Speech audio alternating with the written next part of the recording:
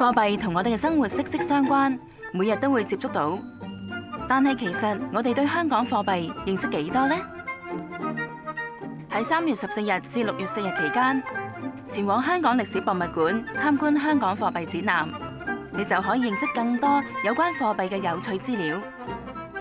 今次香港貨幣展覽咧，喺香港貨幣展覽有史以嚟咧係最大規模嘅。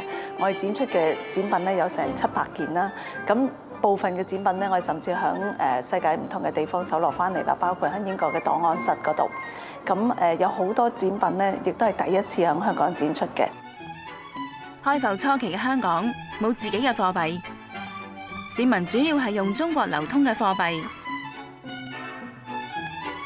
同埋隨住貿易流入中國嘅外國銀元。香港嘅硬幣直至一八六三年先面世。硬幣係由金屬鑄模一個一個咁樣鑄造出嚟，而家就有機器數硬幣。咁以前用咩方法？你又知唔知呢？答案係用木盤數錢，有相為證嘅。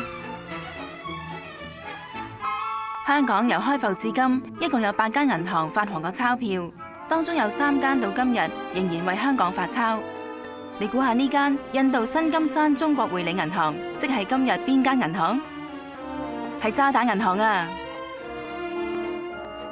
唔同面额嘅纸币有唔同嘅昵称，好似十蚊就叫做青蟹，一百蚊系红衫鱼，两者主要同佢嘅颜色有关。而五百蚊被称为大牛，系因为二十世纪初汇丰银行嘅五百蚊钞票有牛耕田嘅图案，而且系当时最大面额嘅钞票。而家嘅钞票都会印上发行日期。但係以前政府發行嘅紙幣並冇印上發鈔日期，點樣分辨屬於邊個年代嘅呢？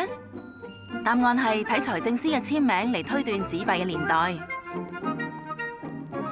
今次展覽仲會首次展出過往喺英國印制钞票用嘅鋼板，大家千祈唔好錯過。為準備香港回歸，一九九三年開始，杨紫荆取代女王頭像，成為香港硬幣嘅圖案。原來設計背後有一個有趣嘅故事嘅。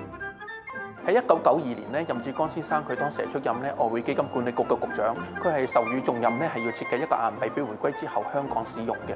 咁當時基於保密嘅原因咧，佢唔可以俾人知道佢做緊乜嘢，所以咧佢就託辭咧，佢而家要幫金管局咧設計一個局徽，咁就揾咗人去政府新聞處嗰度咧，係揾咗啲楊志京嘅照片嘅。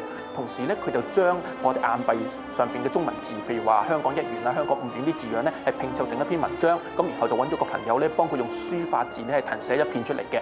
咁然後佢本人咧，最後就做一個好簡單嘅工作，就係將呢啲咁嘅圖樣同埋啲字咧拼湊而成，咁就成為我哋今日所用嘅楊紫荊硬幣嘅初稿啦。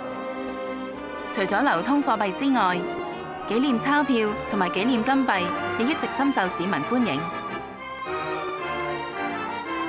為咗答謝客戶，以前銀行會不時推出錢罌，呢幾款設計你又見過未呢？今次展覽仲有一個抽獎遊戲。各位參觀人士，祝你好運！